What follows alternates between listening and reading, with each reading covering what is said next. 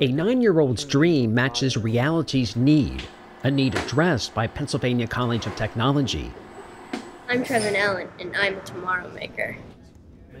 The fourth grader hopes his tomorrow includes computer design, preferably for the plastics industry. You can feel that. It's still warm. As part of a class assignment, Trevin articulated a dream inspired by his father, Lucas, a Penn College graduate who works in the technical service department for Sekisui SPI, a global leader in thermoplastics and a major supporter of the college. When I read what he had written, I thought it would be really good to bring him to campus to actually show him what he put to paper. I kind of want to work where my dad works at um, Sekisui SPI. because they started with something very small and turning it into something very big. I think that's kind of cool. Pretty cool. Cool was the word of the day as Trevin toured plastics labs, explored computer aided design with architecture majors, and went to work in the college's new makerspace. I built a boomerang from just a piece of wood and I sanded it down, and it's pretty cool. Where his interests are are perfectly aligned with what companies are saying they need right now. He actually said that he was interested in thermoplastic sheet design.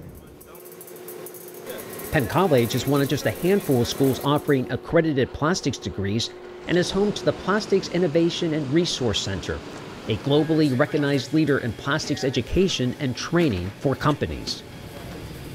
Most of our programs here at Penn College, our students have multiple job offers before they graduate. In many cases in the plastics program, some of them have opportunities in their junior years. There's so much need in the plastics industry right now for workforce. So we have to get students aware of the fact that there is this great opportunity.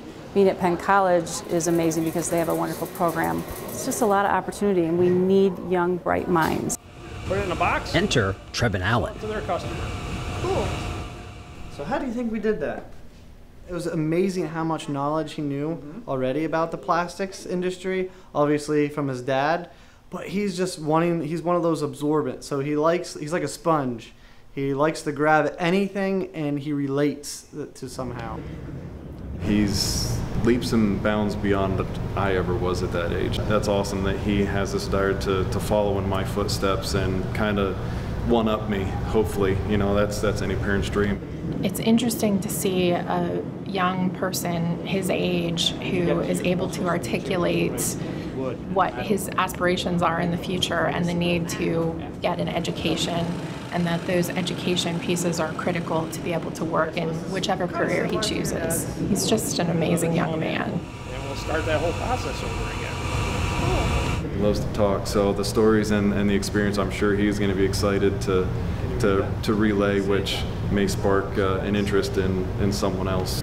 It was the greatest day, and I'm going to tell him every last thing I did. For PC Today, I'm Tom Spicer. It's pretty cool.